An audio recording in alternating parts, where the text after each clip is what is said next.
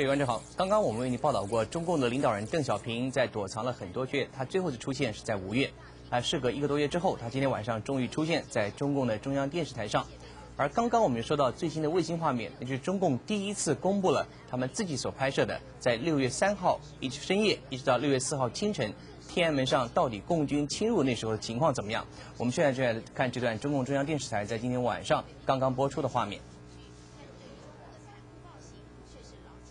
这段画面是中央电视台所播出的，这是到现在为止外界所看到的影片都是由外国记者拍的，只有这一段是中共人员自己所拍摄而自己所公布出来的。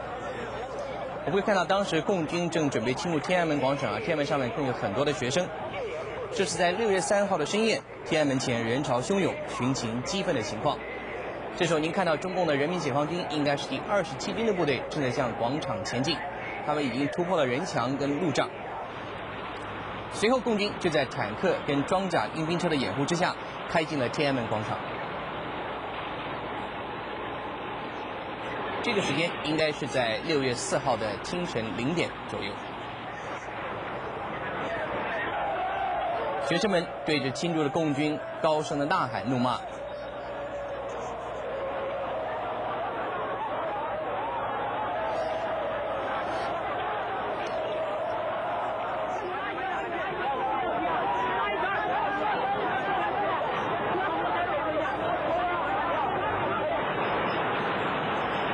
中共播出这个学生放火烧车里面，但到此镜头就中断，接着播出的就是第二天早上天亮以后现场的情形。至于中间外国记者所拍摄到的中共屠杀的镜头，这中共今天晚上一点也没有播放。